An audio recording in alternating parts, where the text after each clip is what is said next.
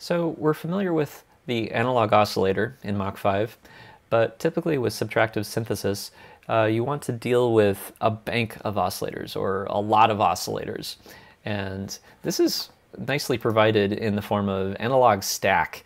And if we select that, you can see uh, immediately four oscillators, but uh, it's actually eight. There's these little circles down at the bottom of this window, which function like your page buttons on your iPhone. And so we actually have full eight oscillators to deal with. So uh, let's select a preset. Um, it's funky bass. And again, this is just choosing the preset of the oscillator section, not a preset of the entire patch.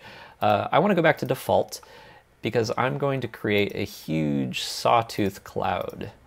So I'm going to change all these to sawtooths, all eight of them. And only one is, is enabled, and you can see the little power button is lit here. If I enable this one, it doesn't sound all that different uh, because they're all in tune with each other, all both of them. uh, so let's knock them out of tune a little bit. And we can immediately hear uh, it's a little bit thicker. So let's add some stereo panning to that. And let's go ahead and, and knock these out of tune a little bit as well. Give it some stereo panning as well. And then also enable them so we can actually hear them. All right, so that's pretty good. Let's go over to another page and uh, let's be a little unpredictable and add some randomness to the tuning. So if I choose this random function, what it does is it generates a, a, um, a random number every time you press a key.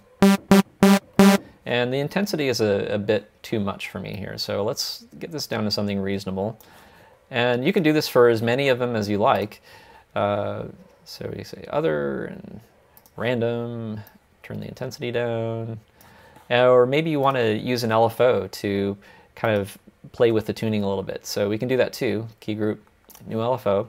And I actually like these chaos waveforms for tuning variations. So let's turn up the, the frequency and turn down the intensity. And let's do the same thing over here.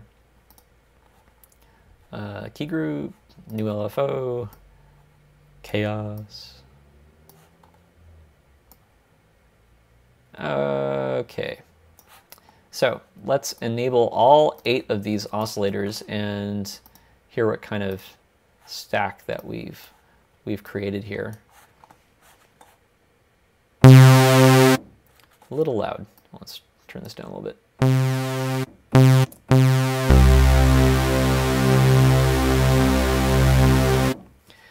That's pretty good, but you know, if you're thinking ah, eight isn't eight eight oscillators is not enough for me, well, check this out. Uh, you can create multiple layers so hey, go ahead and give yourself another analog stack. Go crazy. I don't care. So you can have 16 or more oscillators, whatever, you know, whatever you want. So that's the analog stack in MachFive 3.